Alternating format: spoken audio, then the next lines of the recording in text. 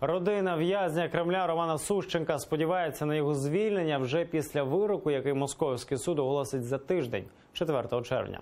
У Росії Сущенка вважають співробітником української розвідки та звинувачують у шпигунстві. Прокуратура окупантів проголосить для нього 14 років суворого режиму.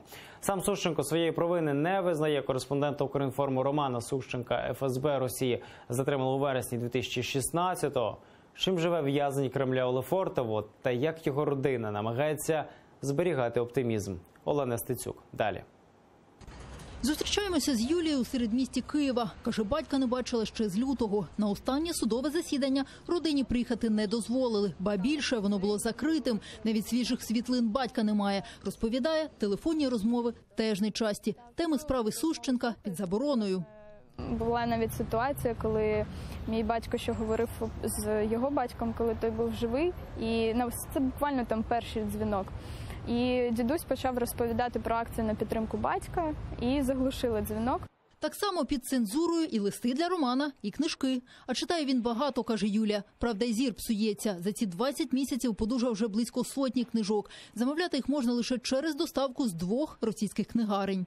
І вони всі запечатані, ці книжки. Потім цензорою перечитують ці книжки. Тобто це дуже багато часу проходить, не можна іноземною мовою. А це і зарубіжна класика, і українська, перекладена і франко російською мовою. Листи від батька, можливість отримати бодай якусь звістку, і нехай вони надходять із величезним запізненням. А ще в них малюнки Романа. За весь час надіслав вже півтора десятка. Юлія розповідає, тато малює з дитинства, хоча ніколи цьому не вчився.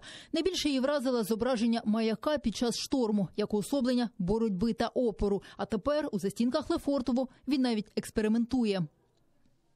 Батько малює просто на е, білому папері формату А4 якимись підручними засобами. Тобто ручки олівці можна кулькою, а інше все це природні барвники якісь. Тобто це е, лушпині цибулі, це сік буряка, це гральний порошок, це чай. І можна якось, знаєте, е, фізично відчути, от що цього листа торкалася рука батька. За тиждень до оголошення вироку Роману Сущенку його донька сподівається лише на диво. В МЗС вкотре наголосили на політичній вмотивованості справи українського журналіста. Псевдовирок може наблизити ймовірність цього звільнення. Вважає перший заступник голови Верховної Ради Ірина Геращенко. Чи наближає вирок вірогідність звільнення Романа? Теоретично так, тому що політв'язнів, яких нам вдалося витягти з російської тюрми, на жаль, тільки трьох і ще двох прикордонників. Нам передали після псевдовироків, які ми ніколи не визнаємо. Але в той же час в мене немає ілюзій, що вирок автоматично означає готовність Москви передати українській стороні Романа.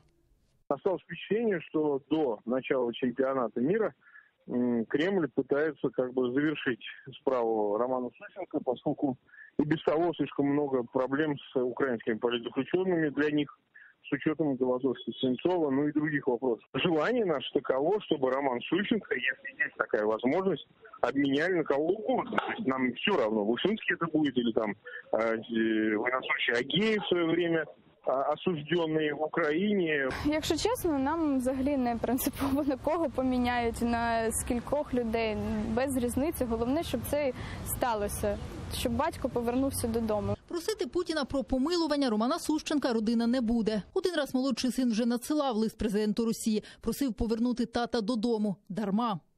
Теперішньому часі, в 21 столітті, да, це, ну, це дикість якась, щоб людей ось так викрадали, затримували, тримали стільки часу, коли ну, цей час же ж ніхто не поверне. Олена Стецюк, Олександр Павленко, Заман, АТР.